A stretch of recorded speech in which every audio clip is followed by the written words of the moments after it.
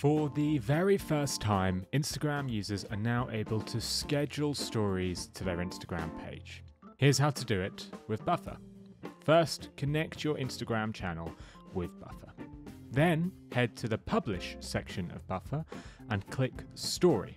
Add in the image or media you wish to use, and then schedule it to go live. It's really that simple. Plus, Buffer is one of the first tools to offer this functionality. So head to buffer.com forward slash Instagram to try it out today.